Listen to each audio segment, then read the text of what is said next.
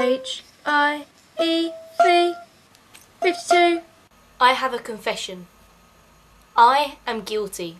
I'm guilty of lots of things. I'm guilty of waking up late in the day. I'm guilty of spending all of my time on the internet. I'm guilty of drawing random sheep at workmates' boards just to wind them up. I'm guilty of forgetting to take glasses down when I've had a drink. I'm guilty of forgetting to take my makeup off after a night out. But most importantly, I'm guilty of trying to impress. I'm sure this is something we can all relate to. Whether it's meeting a friend's partner, whether it's meeting a new boss or future employer.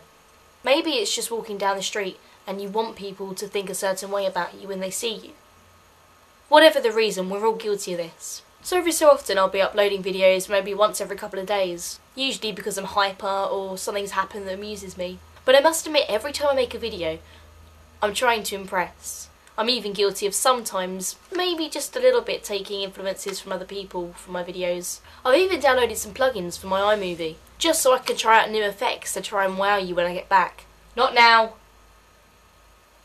Thing is, I haven't been sleeping very well lately, and when I don't sleep, I find that I'm spending most of my time on YouTube watching old videos. The first person I subscribed to on YouTube was Nerimon. I actually searched Alex Gay, because a friend of mine named Alex, well, I was trying to piss him off, basically. And it came up with one of Alex Day's videos. And I watched it, and I realised there was a whole world of YouTube I've never really gotten into.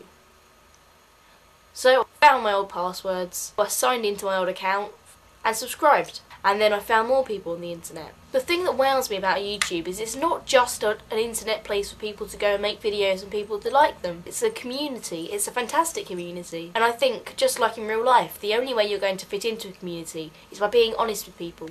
So I thought I'd ask you guys a question. What is the one thing that you were guilty of that you wish you didn't do? Two, have you been honest to everyone you've met? Number three is a challenge. I challenge you to be honest to the YouTube community. Just be yourself. You never know, someone might like you.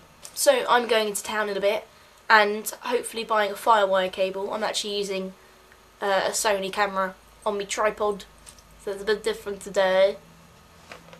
And if I buy the firewire cable, I'll upload this.